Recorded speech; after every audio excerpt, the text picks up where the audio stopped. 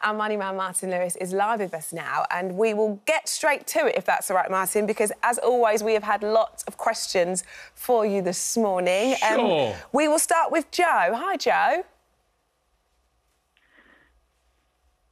Are you there? Hello, Joe. Hello, can you hear me? Hello, Hi, we've got you, Joe. We've got you. What is Hi. your question Hi, for Martin? Hi, good morning, Gordon. Good morning, Martin. Um, what it is, I've got a 22 year old son. He already has a help to buy ISA with the full amount in. Um, what we would like to know is would he be better now with the house price increase? He, he wants to buy a, a house outside of London, by the way. Um, if he would be better moving to a lifetime ISA? Wow, that is a complicated question. Okay, so the Help to Buy ISA is the predecessor of the Lifetime ISA. Both give you a 25% bonus on what you've put in when you use it to buying a qualifying first house. Uh, I think the reason you're asking me the question is you can only buy a house up to £250,000 in the Help to Buy ISA. You can buy one up to £450,000 in the Lifetime ISA. In London, they're both 450,000. Uh, so my big question for you, the problem is it would take you three years to move all that money across. So, is he likely to buy a house that costs over £250,000? Possibly, yes. He has got a partner.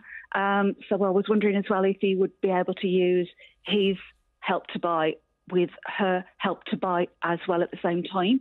So possibly increasing Yeah, the that's no amount over 250.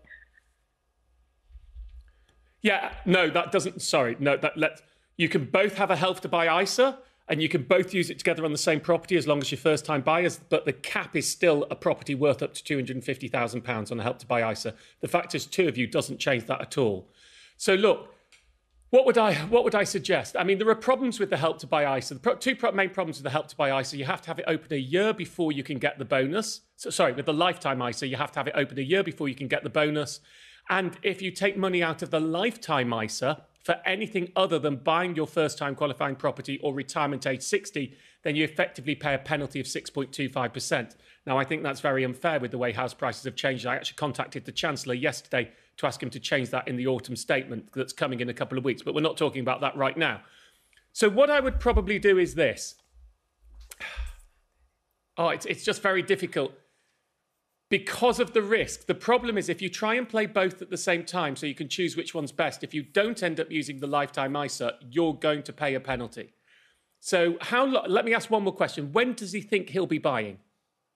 I'm hoping sooner rather than later, um, but probably not for about three years.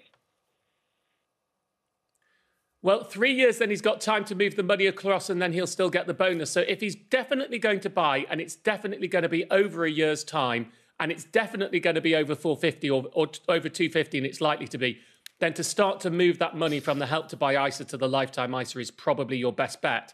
Um, because you will still be able to get the bonus on the lifetime ISA and you wouldn't get the bonus on a help to buy ISA if you buy a property over £250,000. Do and go and do some reading about the lifetime ISA though. And just a message for anybody out there. If you are a want to be first time buyer between the ages of 18 and 39, maybe your kids are, then if you haven't got a help to buy ISA or a lifetime ISA, I would go and open a lifetime ISA now and put a quid in it. Why a quid? Because as I said before, it needs to be open for a year before you can get the bonus. So if you open one with a quid in now, even if it's not right for you and you don't use it later, well, the most you'd lose, you'd lose 6p. You can cope with 6p. But if it is right for you, then you've started the clock going now. And if you decided to buy later, you could suddenly put up to £4,000 in and you get a £1,000 bonus immediately because you've had it open for longer than a year. So just a quick tip for anyone get a quid in a lifetime ISA if you're a first time buyer aged between 18 and 39. So you've at least got the facility available quicker. Nice one. Okay, well, I like the fact very that uh, a. Lifetime ISA is called Elisa. I know. That's fun. I like that. Uh, Absolutely Mark, we're going to belt through a few of these. This yes. is from another I, Joe. I call it a Lysa, actually. yeah, well, I work on it, Lisa, right here. I'm always Lisa, right with this. Lisa. Lysa Minnelli. This from Joe. I'm 20 years old. I went to university for one year before I decided to leave, which I now have to pay that loan back. I'm now looking at taking a separate private course where I'll have to get a loan for £8,500. To what degree will having two separate loans affect me in the future regarding credit scores and mortgages? Well, as I often say, the, the official student loan that you took for your one year course works more like a tax than it does a loan. You only repay it once you're earning enough. It does not go on your credit file.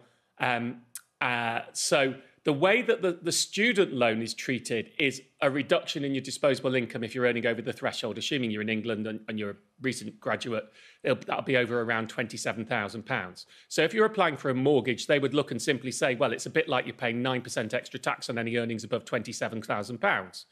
Your other loan, the private loan, I presume is more like a normal loan, in which case that will go on your credit form. It will look like you've got out, you've got uh, outstanding debt, and so then when any other lender is looking at your debt utilization, it will reduce it. I mean, I'm being relatively technical describing the fact one reduces your disposable income, the other is an outstanding debt. Having two loans clearly means you'll have more debt than otherwise. And when other lenders come to look at you, you are slightly less attractive for having both. There is no way around that. That's, that's how the system works. The more debt you've got, the less attractive you are to others. Will it stop you getting a mortgage if you've got a decent income? No, but it could possibly reduce the amount of mortgage that you can get. Okay, okay, thank you very much. Emma says, How can I improve my credit score? I've got a credit, credit score of 928 on Experian, but of late I've been getting refused credit due to an increase in overdraft. Um, I also got refused a mortgage when I was renewing it this year due to being made redundant whilst on maternity leave. I've never had a bad credit rating before. I always pay off everything in full. What can I do to improve it? Well, look, we, we just have to get away from being hung up too much about credit scores. You do not have a credit score in the UK. The one that you're given by the credit reference agencies is that just their indication of a loose guide to what uh, a typical company might look at you if it was only looking at your credit history. Now, the fact there are three different credit reference agencies and they, they don't all score the same shows you you don't have a credit score. So don't get too hung up about small movements on that. And the big thing everybody forgets is your credit score doesn't include the single most important factor that is looked at when you apply for any form of credit your income. Let's, be, let's make this be, be extreme on this. If you had no income and a perfect credit score and you wanted a loan, you're almost certainly not going to get it because you can't pay it back. So when you tell me you've been rejected, what you haven't told me is the crucial factor you know, you talked about being made redundant. Well, if you're being made redundant and you don't have a job and you don't have income, even with a great credit score, it is, of course, going to make getting credit much more difficult. Mm-hmm. So it, there's no real way to finagle the system. A 9 to 8, uh, uh, assuming that you're on the 999 system, is a pretty good credit score. But this could equally be about the affordability score that they do based on your income. And that could be why you're being, um, why you're being rejected.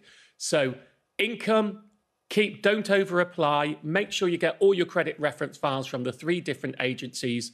Um, download them, go through line by line just to check there are no errors, such as you've moved house and you've got accounts that are still listed at your old address. Things like that can get you knocked down due to fraud scoring. Go through all of that. But remember, credit scoring is only one half of this. The other half is affordability scoring, which is far more about your income. Okay. Thanks, Martin. Thanks so much. Thank Thanks for your advice much. as always. Take care of yourself. Cheerio. See you soon. Thanks, Martin.